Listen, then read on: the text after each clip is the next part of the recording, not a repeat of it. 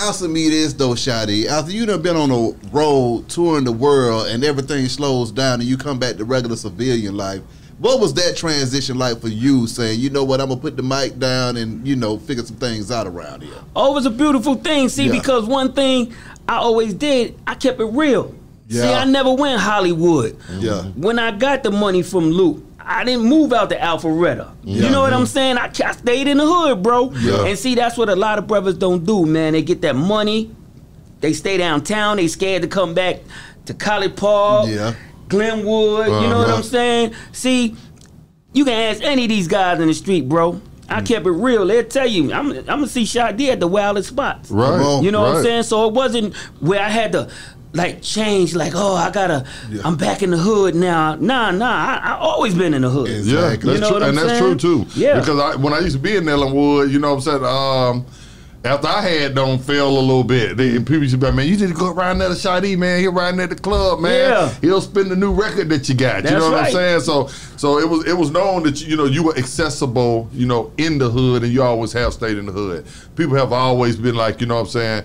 You can reach Shy D. You can touch Shy D. He's That's a right. guy that isn't too big headed, like a lot of these artists that you can't, you can't, Yeah, yeah. you know, you would never like that, and Yeah. everybody, everybody appreciates that from him. Oh yeah, definitely, man. I'm, I'm gonna be a hood nigga for life, man. You know what I'm saying? I got a question for both of y'all though, man. You know, uh, they say fame is a drug. When the fame slows down, do you, you know, want your fame back or do you even care? I'm gonna let you answer that first. Well, uh, it all depends on the money you made. Uh, M- I think that most artists, it ain't. I, I don't. I, I, don't, I think that most artists, if, if they got the money that they wanted, they don't really care about the fame as much after they have gotten it. Mm-hmm. You can have a little, you can be, you know, recognized a little bit, but long as your your bag goes straight and you feel like you got everything out of the game. You, you can live with that. Okay. What you can't live with is the reverse.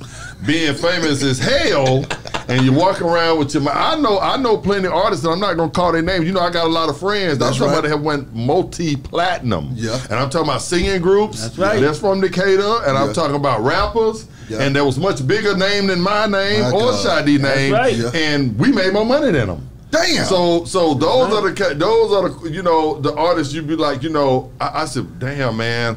You know I felt like I had got beat but I'm glad I didn't sell six million records and goddamn and and my money was and my money funny. And you and everywhere you go I don't been around a certain artist and and everywhere we go they're like yo yo yo yo. And I'm like I'm in the back. Ain't nobody fucking with me. I'm like woo, like, you know what I'm saying Yeah. so uh, with me, it is you know fuck the fame. yeah.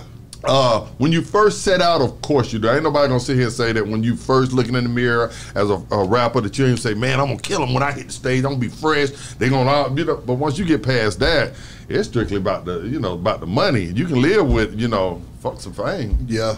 Now, can Yeah, you buy the house that- and pay the rent? That's that's the key word right there. So that's that was real important to me. Like I had to make sure that money was straight. You know what I'm saying? Cause like, you know, the little bit of money I got out there and made, you know, I was able to pay my mom and dad house off. You know what I'm saying? I was able to go get me a little condo, pay cash for that. You know what I'm mm-hmm. saying? So like he said, it's about the money. You know what I'm saying? The fame thing. You know, I never was with the fame thing. That's why I made that joint called "I'm Not a Star." You know Right. I'm not a star. Yeah, he, you know- don't, he don't even know what that is. He, you it on his head, Shy D. He don't even know what that is. Okay, Yeah, okay. he don't know what that is. Yeah, yeah, because let me let me tell you what happened.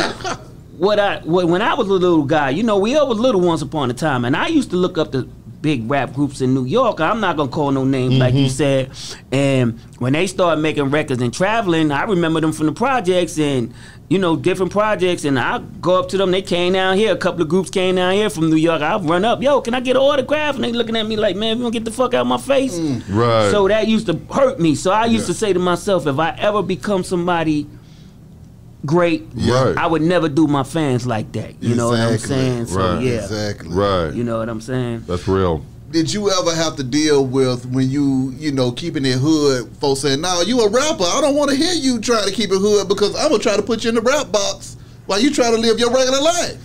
Yeah, and you know I had problems like that in the Yeah. street. Don't get me wrong, because niggas was looking at me like I'm a rapper, but they just don't know I'm a street nigga over here now. You know what I'm right, saying? right, You right. know, but the streets know. You know what I'm saying? Yeah. I, I mean, I did my damage out there in them Mm-hmm. streets. You know what I'm saying? But yeah, I mean, it's so crazy because you're gonna get tested. You know what I'm saying? You know, and then I was making the happy music and shit. You know what I'm saying? I was mm-hmm. making the dance stuff. Yeah. I wasn't talking about killing nobody or beating nobody up on the record. Mm-hmm. So when these guys see me in the street, I guess they think I'm the, the happy man. Right. You know what I'm saying? So, Right. you know, that's just the way the streets is. You know what I'm saying? It's do or die out here. You know what I'm saying? Yeah.